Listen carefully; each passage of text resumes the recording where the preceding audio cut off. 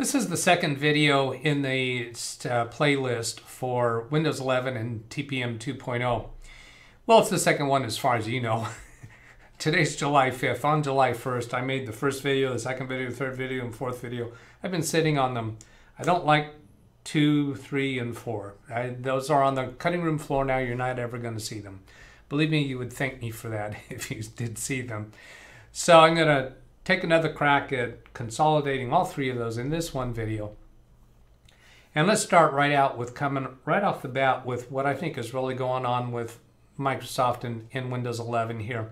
What is the hidden agenda that that is really motivating the way that Microsoft is handling this? And I got to tell you right off the bat, I think 10 years down the road, um, we're going to look back and have a pretty good view that that we can understand why it came out this way. What is the biggest pain that we have these days with in, in the over worldwide computing environment? What is the biggest pain that we have, the biggest threat that we have? It's obviously ransomware. Ransomware is currently in the hands of the financially motivated criminals.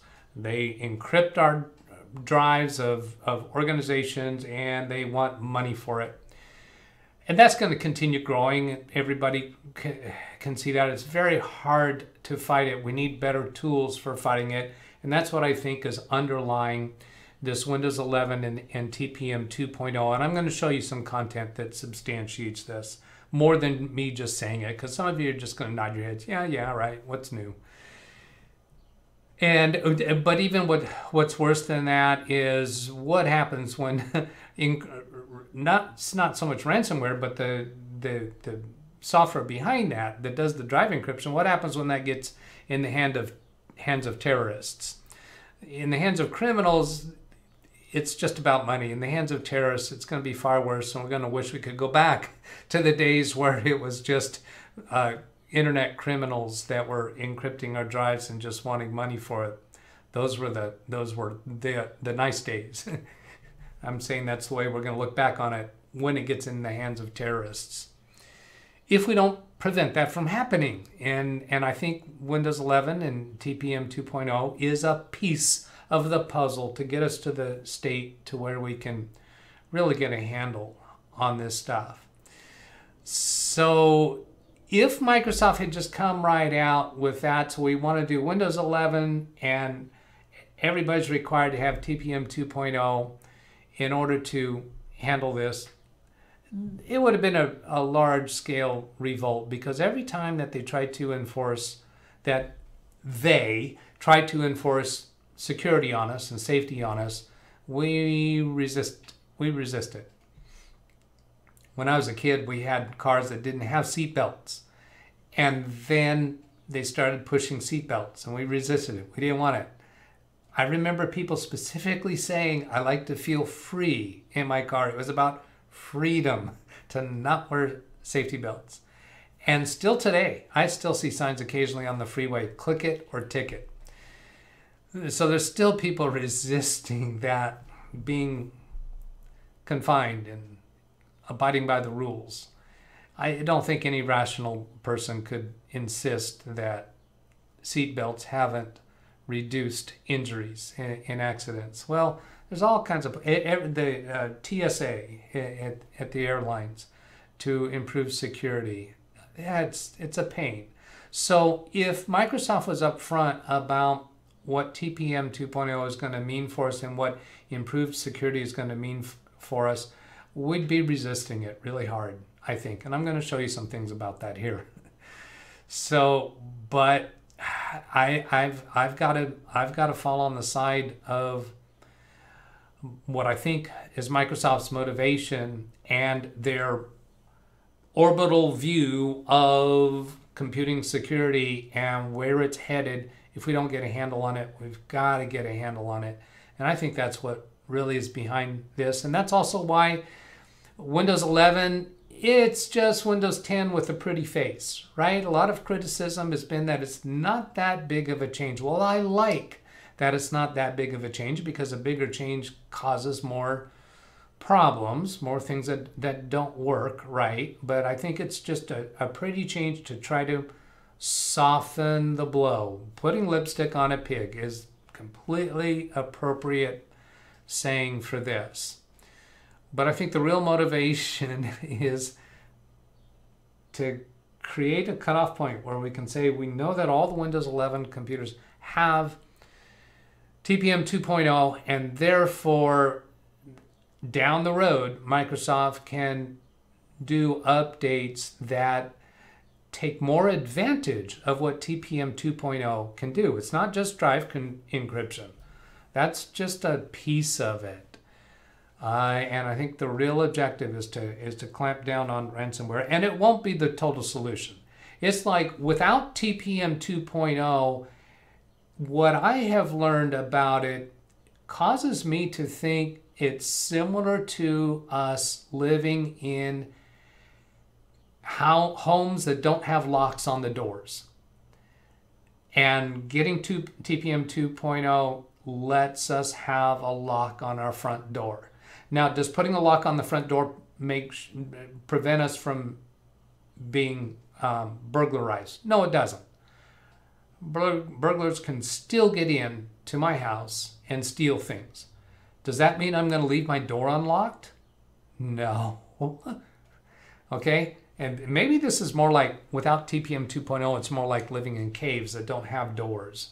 And now TPM 2.0 is giving us doors and locks. It, it, it could be that substantial. So, to give you an orientation to this, instead of me just talking about my impression having with, with the research that I've done on this, I, I want to take you to where does this uh, TPM uh, come from? It, it comes from this organization, Trusted Computing Group. They've been working on this for a long time, and it's got to do with a lot more than just uh, computers. So this is their website, trustedcomputinggroup.org. I see I'm, the I'm on the resources page. Let's actually get to the home page. You can see what that looks like. So it, it, it's easy to go browsing around here and become familiarized with who they are and what they're doing. And as a matter of fact, let me show you something else here. If I just do a Google search on Trusted Computing Group, I'm going to take out the .org so it doesn't go to their website. And I want to go to this piece here. Here's what Google has seen fit to, to say about them. They're giving us uh, this uh, Wikipedia as one of the elements here. I'm going to right click on that and open in a new tab. So there's a lot of content you can read here, but I just want to go with this, this much right up here, these two paragraphs. It's a group formed in 2003 as a successor to Trusted Computing Platform Alliance, which previously formed in 1999 to implement trusted computing concepts across personal computers. Members include, and it's a lot more than just those right now. Um, the point there is that this has been going for a long time this uh, TPM, there's a long history behind it, and it's been with us for quite a while. It just has, hasn't been able to be implemented very significantly because not enough computers have it. The core idea of trusted computing is to give hardware manufacturers control over what software does and does not run on a system by refusing to run unsigned software. So some of the some of the ransomware infections can change the boot files of a computer, uh, in, in, implement rootkits. And the TPM is going, in part, can prevent that type of infection. So there's a lot of types of infections that TPM can, uh, can thwart. And it can also be a piece of the puzzle to thwarting other types of, in, of um, compromises. It, uh, it's not going to fix everything, but you need to have a door on the front of your house, okay? It needs to have a lock on it. There, uh, security is a multi-layered um, endeavor. So let's go back to, let's see, their website.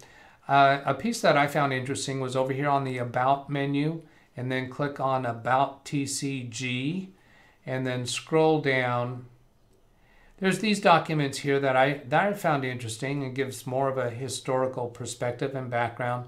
Articles of incorporation, bylaws, membership agreement, fact sheet, backgrounder and timeline I'm going to give a click a quick preview of backgrounder and timeline. When you click on those, downloads as a PDF file. So this is the backgrounder. This backgrounder was was drafted, I suppose, or written, I suppose, in 2006. Gives info, gives kind of the the background or the the setting for this effort uh, happening, and, and it talks about business, governments, academic institutions becoming increasingly interconnected through wired and wireless. So, and a lot of how we're connecting together gives us a lot of advantages, right? A lot of extra um, capabilities, but it gives us more exposures, risk. Uh, uh, physical theft part of it, so drive encryption, that's certainly going to be a piece for physical theft. That's uh, if you have a laptop drive encrypted, the bad guys get hold of your laptop. They can't log into it. They take the drive out, connect it to another computer. They can't access it. So, uh, so that's a drive encryption is a good thing there. Now, in the last video that I did, I, I mentioned how I I didn't want to do drive encryption because what happens if my client's computer is not bootable? I can take the drive out and access the files. Well, some of you pat yourself on the back if you objected to that if you said, wait a minute, that, that's, that's a flaw in strategy. My clients and the computers that I, that I manage and oversee, we have backups. So that's not going to be an issue. I'm not going to be trying to get to those files. But a private individual comes to me, their computer won't boot, they haven't been doing the backups, and that's a problem. Yeah, but everybody's got to get on the bandwagon with having your data files, your important content backed up so that if your computer is unable to boot, you can still get to your content, the stuff that you care about. So then let's come back to here further. Um, standards-based security solutions. So that's a piece of TPM 2.0. TPM 2.0 has been in most new computers since 2019. Uh, some of the computers prior to that had it. Uh, TPM 1.2 was started long before that, but still, it was never the case where most of the computers out there have TPM. Well, the current standard for TPM is 2.0, much more capabilities than 1.2. So, Microsoft, I think, is taking this opportunity to enforce TPM 2.0 because it just gives such a massive extra capability for securing our computers. Now, as they implement more of more of that security, we're going to have more pain points as end users in the sense that every time you you you give more security, you enforce more security, you're giving up some freedom, you're giving up some privacy. Okay, that is a piece of it. How long are you willing to be at risk for ransomware? And then when ransomware gets in the hands of the terrorist, how are you going to feel about that down the road? So there's a whole bunch of stuff here formed in 2003 for this challenge, and this goes down further. Threat of software attack, vulnerabilities reported. This this chart is 2002. So this this backgrounder is not very well up to date. This chart is way higher than that now. Uh, incidents reported, uh, but this gives you a this document gives you a historical background and perspective of this organization. So let's get out of that one. Let's go look at this other one, TCG timeline.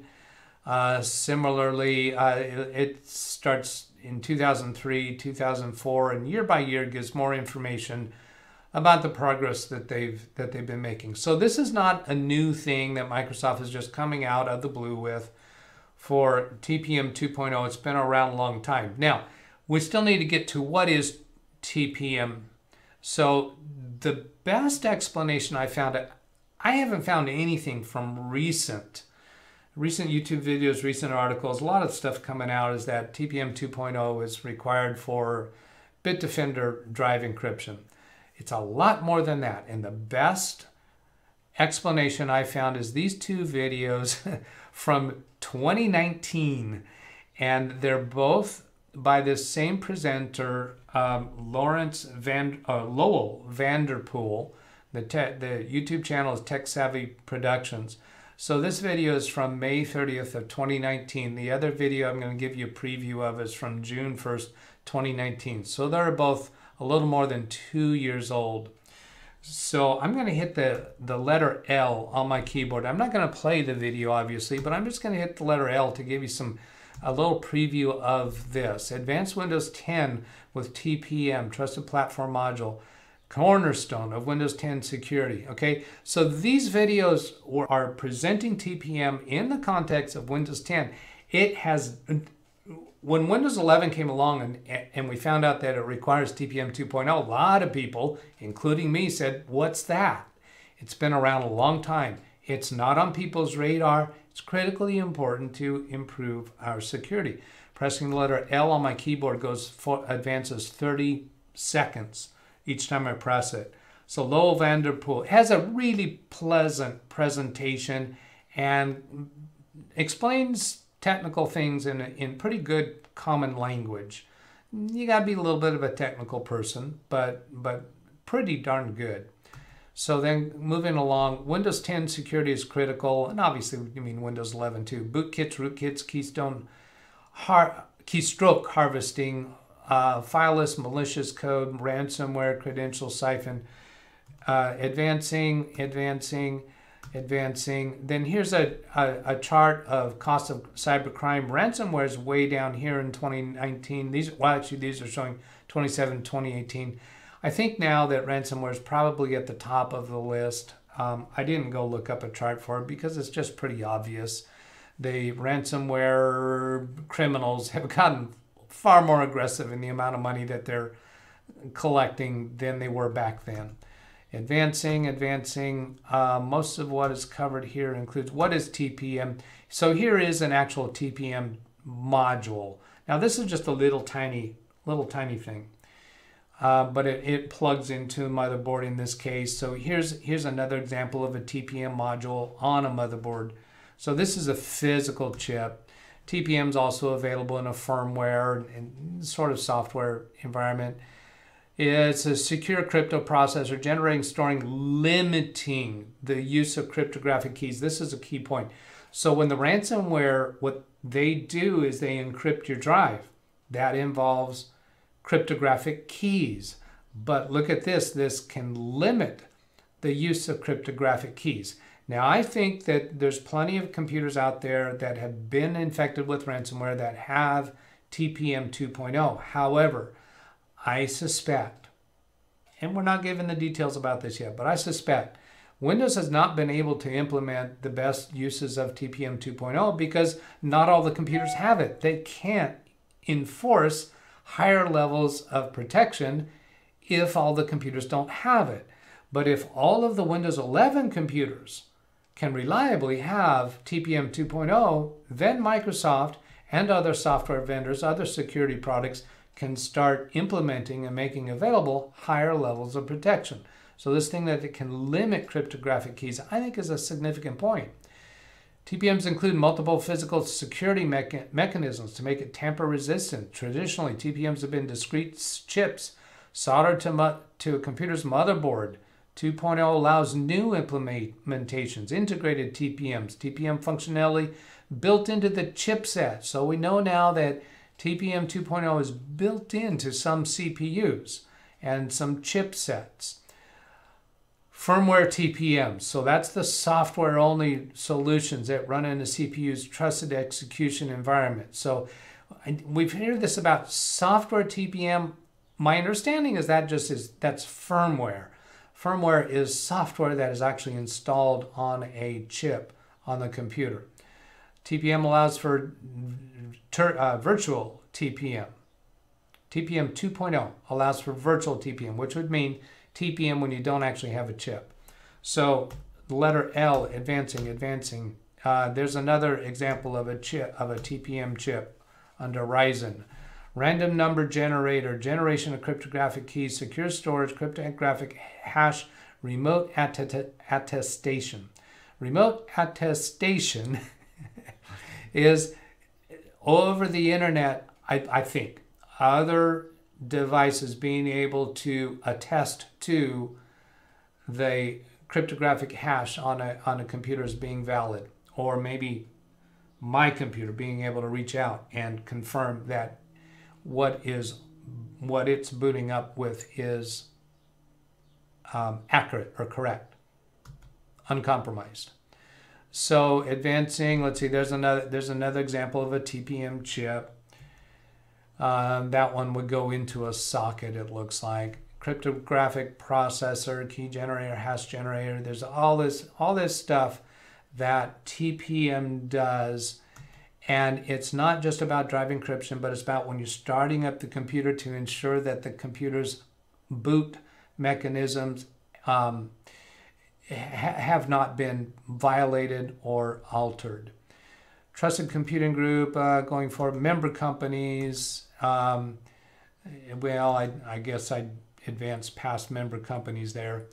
I'll get to that another place. There's a lot of them root of trust was so the, there's a lot of these flow charts in here that that gives more information about TPM and how it operates, how it protects your computer when your computer's booting up. But if Microsoft and other software vendors cannot implement all of the capabilities unless all the computers have it. And with Windows 11, they will. Uh, so let's see, BIOS hashes loader config beforehand. I'll start BIOS, initialize hardware loader. Uh, all, all of this stuff is happening. Loading, uh, kernel loading is the TPM is all part of it. It's measuring the boot chain. So that terminology comes up a few places through here. So you ought to go watch the video. It is really good for helping to get a handle on understanding this. TPMs are tamper resistant. Um, multi-level hardware security designed to defend against microprobe attacks, timing attacks, emission attacks, fault, invalid command attacks, power cycling, clock glitches. So a lot of these type of attacks aren't going to happen to an individual or small business computer, but more likely at a higher level uh, computer that could affect our infrastructure. Uh, another example of a chip uh, uh, PTT is another acronym, acronym that is used. Uh, Platform Trust Technology, which is Intel's name for the same functionality. Uh, so more examples of that Ryzen. Okay, here this FTPM, software-based TPM, has been is running on millions of mobile devices. Look, some of these cell phones are pretty old looking, right? Well, we saw that this organization started in 1999, and then the new name in what was it 2004, I think. So this has been around a long time for mobile phones. If we get our computers using the same kind of security that phones have, that's got to be a good thing. Two factor authentication services. Now, here's where we get into the seatbelt objection. No, I don't want that. I don't want two factor authentication. People are going to be resisting this, this piece. So if Microsoft came right out that TPM 2.0 is going to make it easier to enforce multi-factor authentication, there's going to be some resistance to that. Virtual TPM here, um, Amazon is cloud security, so Amazon Web Services using that. Uh, here's showing the differences between the versions of 2.0 and, and 1.2. Um, TPM and, and privacy. Uh, so is this would this give us more privacy from like Google and from Microsoft? Yeah, I don't know if that's going to be a piece of it. But here this is significant. TPM was developed for. Are you expecting Windows to be the answer? No.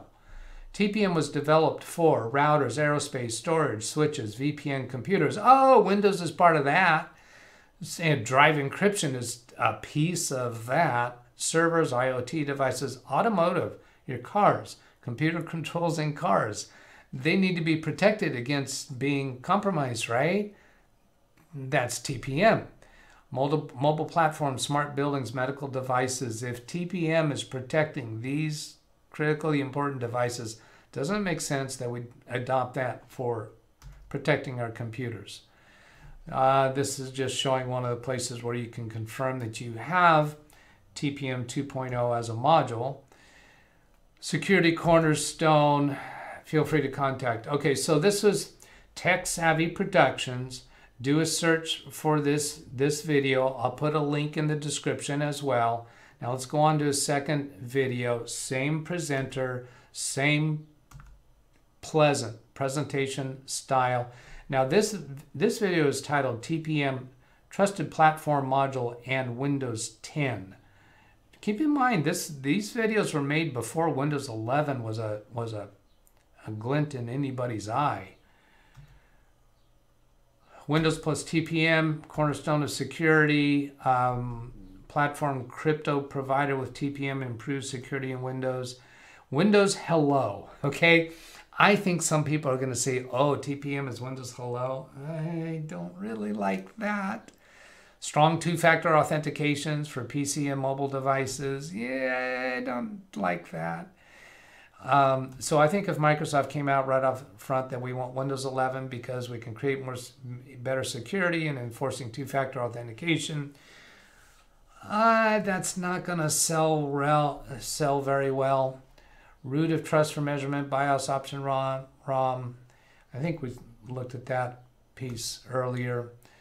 So BitLocker here, BitLocker is one of these things. So platform crypto provider Windows Hello replaces passwords with strong two-factor authentication on PCs and mobile devices.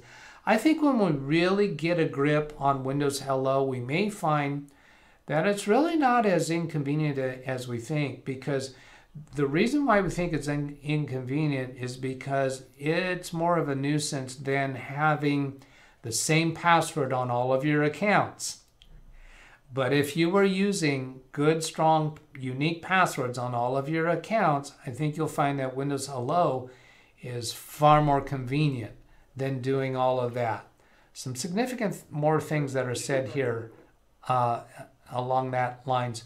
Measured boot, a way for the operating system to record the chain of measurements of software components and configuration information in the TPM through initialization of Windows operating system. So as your computer starts up, it can prevent the bad guys from compromising your computer at that point if that's the type of infection they've chosen to use. So basically, it's going to make that type of infection useless on Windows 11 computers. The people who are still holding on to their Windows 10 computers and Windows 7 computers are still going to be uh, susceptible to that. And if those computers are connected to networks that have Windows 11, then those computers can be the gateway the doorway to the bad guys getting to the Windows 11 computers because moving across the network, once you get into a vulnerable machine, there are ways to move through a network and access Windows 11 computers. So those older computers, there's got to be better security implementations on them because they are oftentimes the source of the attacks that we're getting these days. Virtual smart card, health attestation. Somehow I enjoy that word even though I still can't say it quite right. Uh, more stuff here about TPM 1.2 and 2.0. Some good charts here. Uh, Windows Hello replaces passwords with strong two-factor authentication. And then there's a piece here they come up with um, now these numbers are kind of old, they're worse today. New type of user credential that is tied to a device and uses biometric or PIN. And the user never types their password. The user never changes their password. That's what this is going towards. That kind of sounds attractive, doesn't it? If you never have to type in those crazy complicated passwords. You never have to change them. And then this one down here that you can't see, I'm going to try to expose that here. Um, let's see, I got to mute that so it doesn't go over. I think this scrolls over. Oh, there. The user does not know their password. I have that implemented in some of my client offices where the end user doesn't even know their email password, doesn't know their Microsoft password. They just know the password that they, they need to log on to their computer, and then the computer has remembered those passwords. But this TPM 2.0 gives us the capability to evolve to a level of security where users never type their passwords, never change their passwords, don't even need to know their passwords. And that is something that TPM 2.0 gives us the capability of. Not right away. We need to have a massive quantity. All of the Windows 11 computers have to have that, and then Microsoft can start enforcing higher levels of security that would include that. Uh, cloud only, Azure Directory, uh, getting rid of the password. Hello Pin is better than a password. Um, I think probably I don't need to go through a whole lot more of this, just punching through quicker to see if it reminds me of something else, because I think I've really made the point. There it talks about uh, BitLocker encryption and then here measured boot. So he gives, he gives great explanations of all this stuff. Highly recommend it. And it was baffling to me that I had to scroll through the search results for what is TPM 2.0. I had to scroll through the YouTube videos to find this, which is oh, more than two years old. It's it, it, it's significant. So bottom line, Windows 11 comes along. We're shown this glitchy stuff. There's a leaked ver- uh, a leaked version of it we question ourselves why are they calling it windows 11 i thought it was just going to be windows 10 would be the last version. And then we say that well windows 11 is just it's just a feature update to windows 10 it, it's not all that big of a deal. So we have complaints that it's not that big of a jump and then we have complaints that it, it is a big jump in the sense that a lot of computers can't upgrade to it. Well, they can't upgrade to it because Microsoft is arbitrarily, we're told, or some people complain, arbitrarily requiring TPM 2.0. There is nothing there is nothing what, what, what's native to Windows 11 that requires TPM 2.0. It's a choice by Microsoft to include TPM 2.0. Why are they making that choice? I'm saying they're making that choice because it's what they see at their orbital view of the world's computing. It's the only way they see to put a door on the front of the home or put a lock on the door, whatever analogy works for you. We are not, we don't even have the capability of securing our home. If we put the front door on the house or put a lock on the front door with TPM 2.0, is that going to prevent a motivated burglar from getting in the house and stealing our stuff. No, it's not. Do you really want to leave the front door unlocked, however? This is a major step forward to have TPM 2.0. So Microsoft has to be sitting, I think of them in a, a war room or on a retreat, saying, how do we get all of the computers to have TPM 2.0? They've been in new computers for a long time, but there's a lot of older computers out there how do we and if we were to if we were to say that everybody needs TPM 2.0 and would stay at Windows 10, how do we know which computers have it and which don't? When can we install the security updates that really really take advantage of TPM 2.0? Well, we need a really clear uh, mark for that, and the answer is Windows 11. Okay, so Microsoft uh, executives are saying, okay, so let's come up with Windows 11 and force TPM 2.0. How are we going to get people to want it? They're just going to resist it. We've got to do something to make it look attractive. So they come up with all these pre- all this pretty stuff, and so some some changes to kind of create a little bit of a user envy, so that if one person in an office has has Windows 11, another one has Windows 10. We want for the person with Windows 10 to kind of nag their boss. I want Windows 11. It looks so pretty. But we don't want to make it, we don't want to do a completely designed from the ground up new operating system because we know that's going to have a lot of troubles for a lot of time. We know that when we make a big change to the operating system, there's a lot of troubles that happen. We gotta we gotta do fixes. So the, the improvement needs to be pretty so that people want it, but it needs to be minor enough that it's not going to cause a lot of troubles. We need people who are upgrading to Windows 11 to have a smooth, easy experience with it. So that's why kind of it's just a feature update, no big stunning changes, but TPM 2.0 is required so that we can clamp down on rans- ransomware and more importantly in my mind I'm I am serious about this keep it out of the hands or limit the capabilities of terrorists with it. Because when terrorists get their attention focused on this encryption they're not going to have any morals about what types of organizations they're willing to encrypt. Right now the ransomware the under underworld dark web ransomware providers that sell their software to ransomware affiliates who actually seek to get to infect companies. They the, the ransomware providers have actually told their affiliates they have kind of a terms of use user agreement saying you're not allowed to use this against certain types of organizations. And i can't rattle off what they are and that's been in the news enough. They they, they published on their on their website that you're not allowed to infect. Uh, I think government institutions and law enforcement and and and health organizations or hospitals, things like that.